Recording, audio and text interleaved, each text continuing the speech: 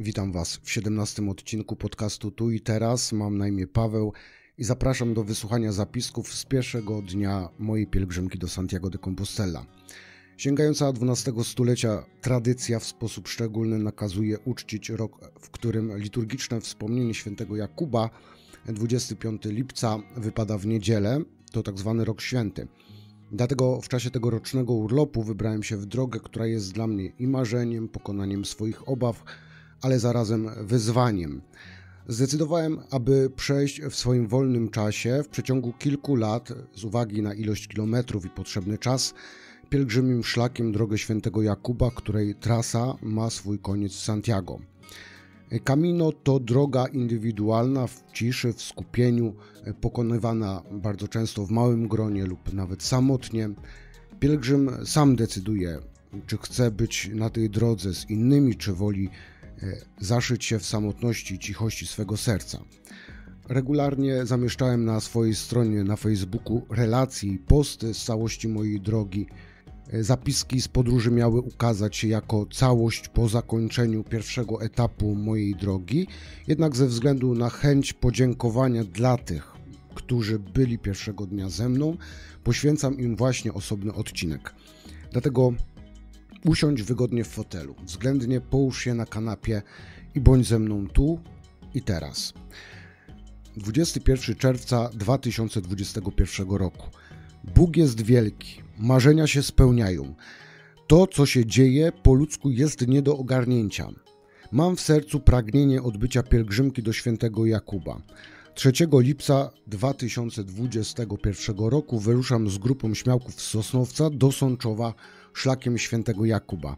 Jednocześnie myślę, jak zorganizować swój urlop. Plan jest taki.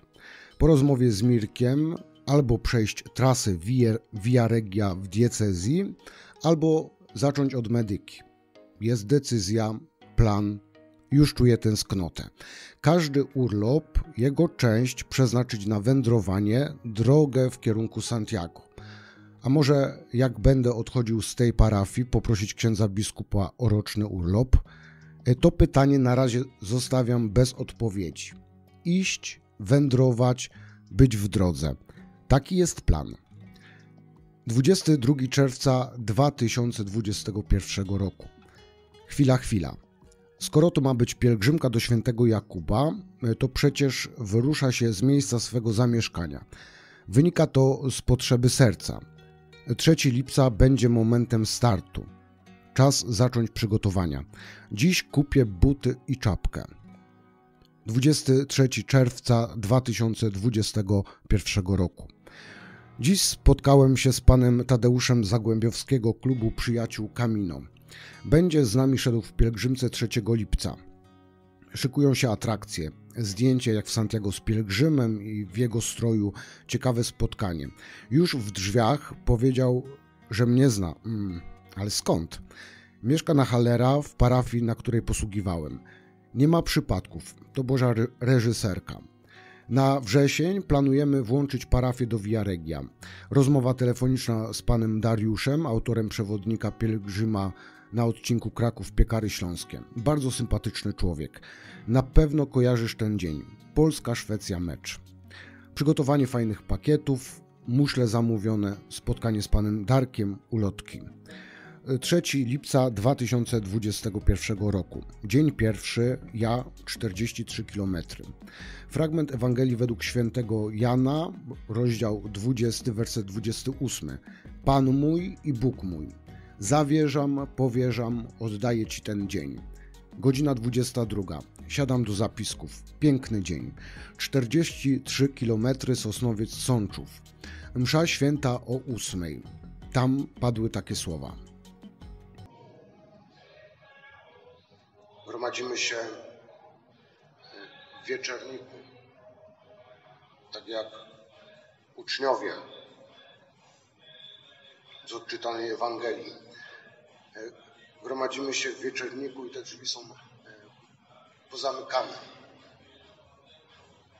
Jezus pragnie przyjść mimo tych drzwi zamkniętych i pragnie e, nam pokazać rany swojej męki pragnie, abyśmy doświadczyli e, tego zbawienia, które On nam ofiaruje. Pragnie tego, abyśmy włożyli nasz palec, włożyli rękę w bok. Pragnie, byśmy doświadczyli Jego miłosierdzia. Pragnie, abyśmy się stali ludźmi e, wierzącymi. Ale na sam ten widok nie musimy tego robić.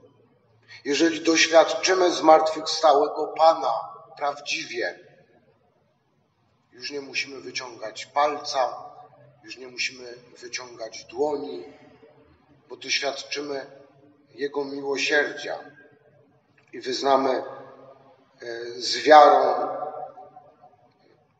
Pan mój i Bóg mój. Musimy doświadczyć e, Jego obecności.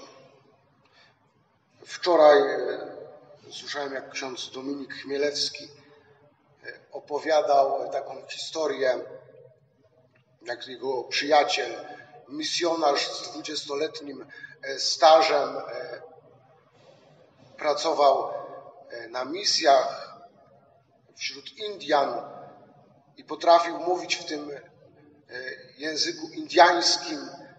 Nie sprawiało mu kłopotu, żeby wziąć, odprawiać tą mszę świętą w języku indiańskim, głosić Słowo Boże w języku indiańskim. I była taka sytuacja, że była sprawowana msza święta. I te kobiety, które przychodziły, miały chore, chore dzieci. I one te e, chore dzieci na ten czas mszy świętej kładły przed ołtarz. I to było kilka takich osób. Kiedy zakończona była msza święta, te dzieci były zdrowe.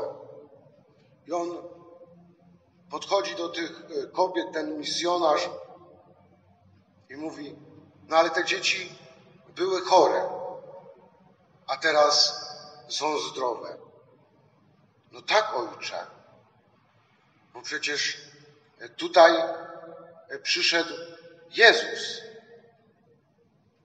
i on je uzdrowił. No ale były chore. I powiedział, że po 20 latach kapłaństwa, tylu sprawowanych mszach świętych, on doświadczył takiej Bożej obecności, Bożej wiary, tego, że tutaj prawdziwie przychodzi Jezus. Jest obecny w tej mszy świętej. On zmartwychwstały jest teraz obecny. Ten sam, ten sam, który zmartwychwstał, ten sam, który uzdrawiał, Pan mój i Bóg mój. On pragnie przyjść do mojego serca, mimo tych drzwi zamkniętych. Pragnie, abym ja doświadczył Jego obecności. Pragnie, abym ja doświadczył Jego miłosierdzia, Jego obecności, Jego uzdrawiającej miłości. Dzisiaj część z nas uda się w pielgrzymkę e, drogą świętego Jakuba. Nie będzie to pewnie taka sama pielgrzymka, jak chodzimy na Jasną Górę z tubą, z gitarą, e, gdzie są mówione e, konferencje. Trochę inaczej na pewno będzie to wyglądało, bo taką pielgrzymkę zwykle odbywa się w samotności bądź w małych grupach, ale przede wszystkim ma być to droga pielgrzymka do własnego serca. Droga do poznania siebie. Dziś także ja zaczynam swoją pielgrzymkę do grobu e, świętego apostoła Jakuba, pielgrzymkę, którą planuję odbyć przez kilka lat w swoim wolnym czasie. Właśnie wyruszając z miejsca e, swojego zamieszkania.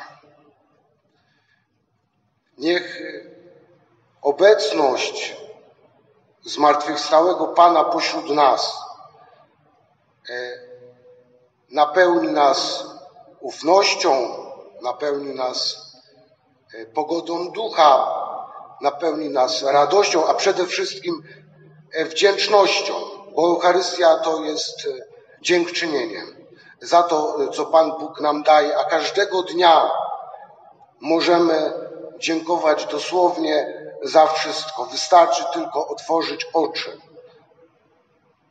i już jest za co dziękować. Pan Bóg jest dobry.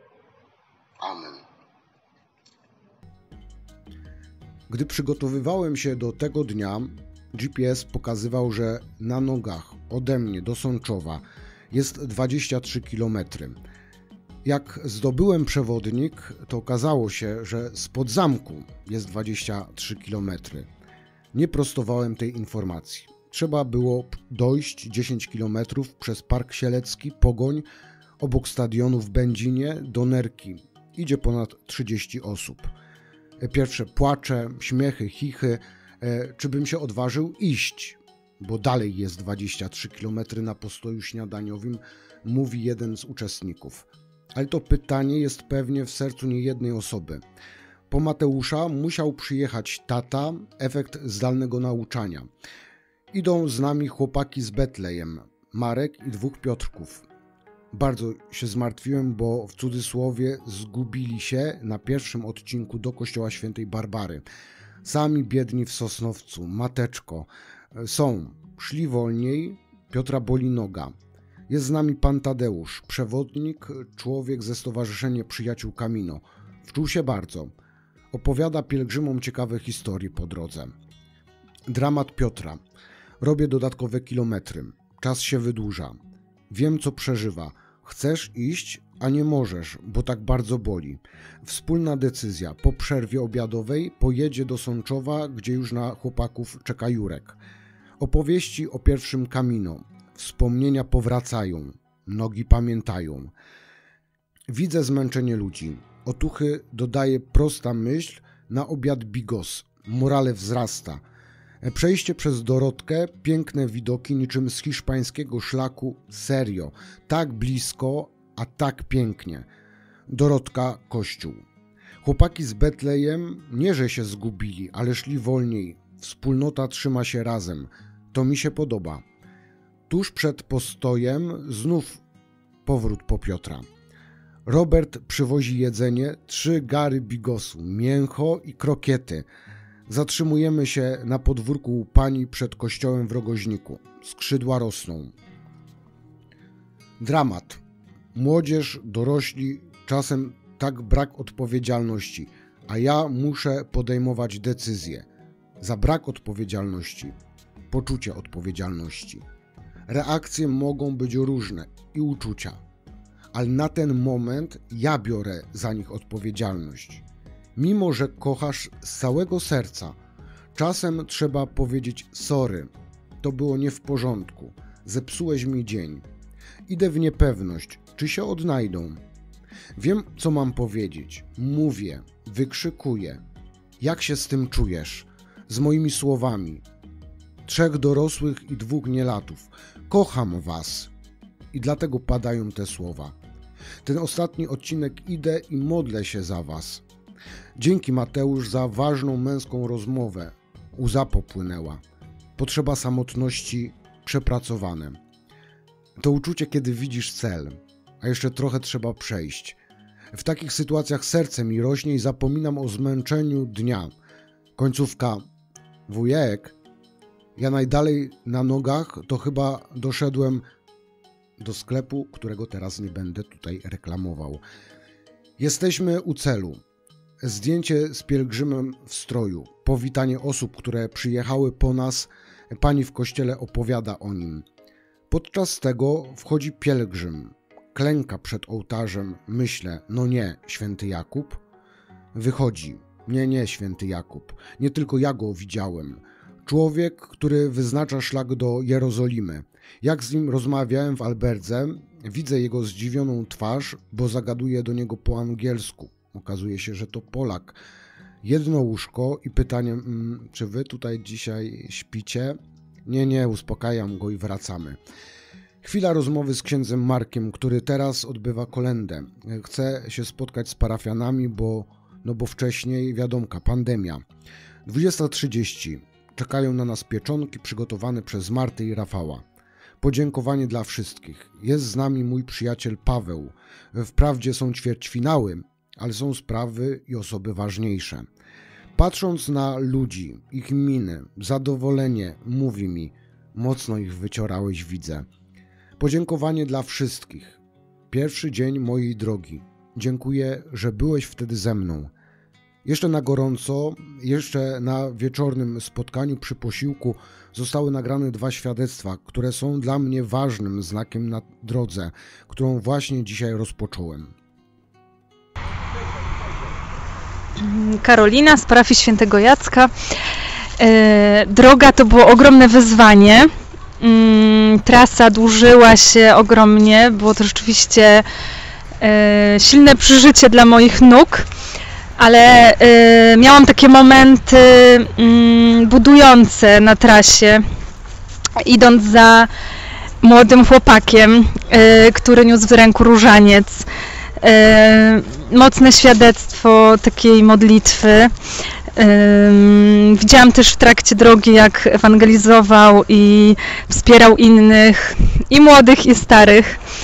Fantastyczne przeżycie i też y, mm, starsza osoba, pani Basia, która y, po prostu niosła ten trud z uśmiechem na ustach, w pielgrzymkowych klapkach. Y, to są takie momenty, które rzeczywiście dodają siły i uśmiech księdza, który mobilizował i zawracał na koniec po tych najsłabszych. Poczekaj, Juziu. I też y, y, wspierał potem na czele, prowadząc naszą pielgrzymkę. Y, zaciekawił mnie bardzo święty Jakub i chciałabym kontynuować też przygodę z nim. Chwała Panu. Y, jestem Bartek, mam 18 lat i byłem dziś właśnie na tej pielgrzymce organizowanej przez księdza Pawła i bardzo dziękuję za zorganizowanie całej pielgrzymki. Na pewno będą, będzie dużo owoców tego pielgrzymowania naszego. Każda intencja, którą nieśliśmy na pewno w pewnym stopniu zostanie wysłuchana przez Boga, jeśli taka jest Jego wola Boża i, i dziękuję za te wszystkie dobre momenty, te złe, nawet za te, te gorsze właśnie które no, uczą nas, przeprowadzają przez takie doświadczenia, pokazują, że czasem możemy mieć jakieś problemy czy coś, o których nie wiedzieliśmy i właśnie to się odkrywa podczas takiej drogi. Dziękuję za tą drogę i życzę wszystkiego dobrego wszystkim, którzy byli. Dziękuję za modlitwę i, i że wytrwaliście. Gratuluję wszystkim.